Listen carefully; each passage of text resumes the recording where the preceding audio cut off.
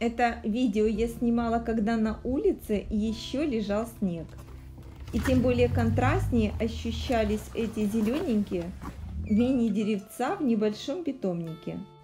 Это бонсай-клуб.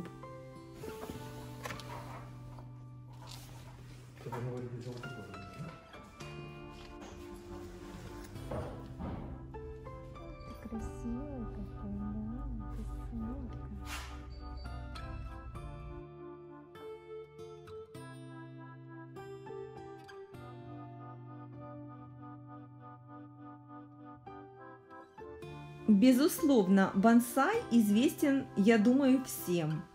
Это искусство выращивания точной копии дерева в миниатюре, причем выращивание в небольших емкостях. В основном в предоставленных магазинах обычно используют фикус, но это может быть и бугенвилия, сосна, азалия, рододендрон. И у каждого варианта своя форма. Деревце бонсая стоит обычно недешево, но, по-моему, это обосновано. На выращивание одного дерева могут уходить годы. А вот это оказалось для меня полной неожиданностью. Я об этом не знала. Здесь, кстати, можно купить небольшие миниатюрные фигурки. И они используются как элементы декора к бонсаю. То есть, созерцая дерево, используют еще вот эти вот дополнительные фигурки. И все эти фигурки стоят недешево. Скорее всего, это ручная работа. Вот на дереве фигурка Каонаси. Она стоит 150 гривен.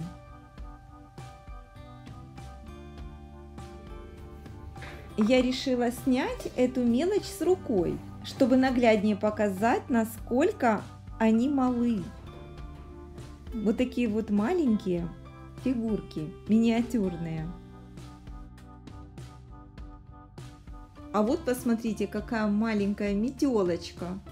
Здесь предоставлены инструменты по уходу за бонсаем. Всевозможные ножнички, щипчики, выравниватели, либо для веток выпрямители. А вот какой маленький Будда на камушке. И они здесь разные. Вот такие крохи. Отдыхающий Будда. И для них лавочки, скамеечки, маленький велосипедик. Велосипедик, кстати, цена 170 гривен. Все такое маленькое. А это всем известные нецки. Японские нецки.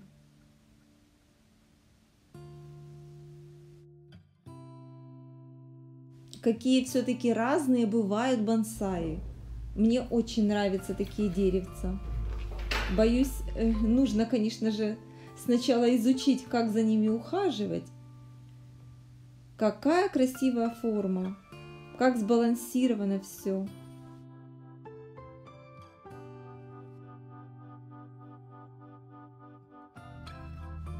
А вот еще Будда. Стоимость 350 гривен. Здесь Будда и отдыхающий, и смеющийся, и плачет, который. Очень интересные пупсы Будды.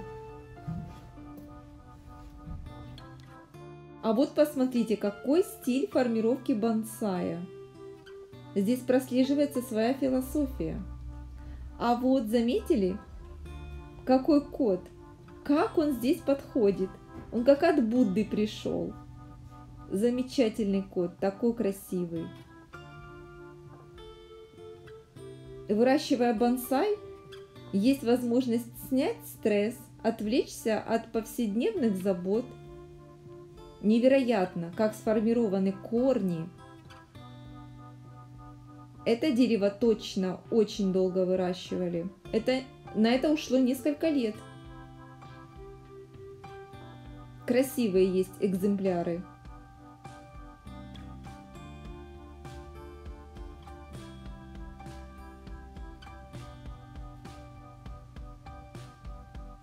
Здесь продаются всевозможные аксессуары для выращивания бонсая. Вот такие вот плошки горшочками их назвать сложно, скорее небольшие емкости, специальные емкости для выращивания бонсая.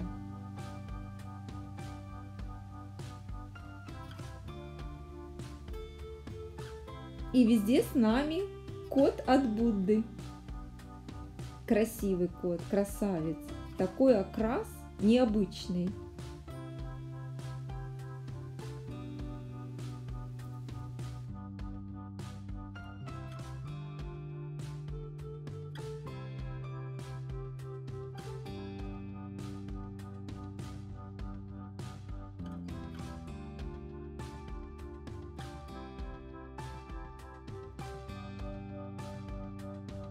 А вот это миниатюрное поле с песочком, кстати, вот эти выравниватели песка 150 гривен стоят.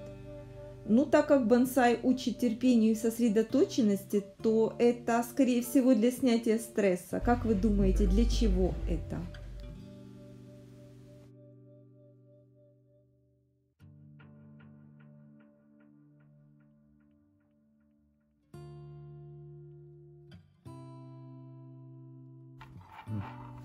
Так ставится.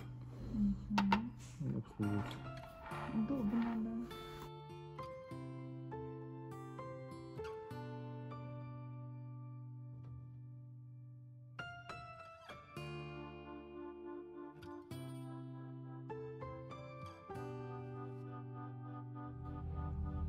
Ну и заинтересовались мы, конечно же, этим персонажем, Безликий. Это персонаж аниме Каанаси. Под впечатлением от посещения посмотрели мы этот мультфильм японский «Унесенные призраками». Всем рекомендую. Там и анимация приятная, и смотрится на одном дыхании. И, безусловно, это мультфильм, который учит. По крайней мере, добрый, мудрый мультфильм. Всем рекомендую его посмотреть.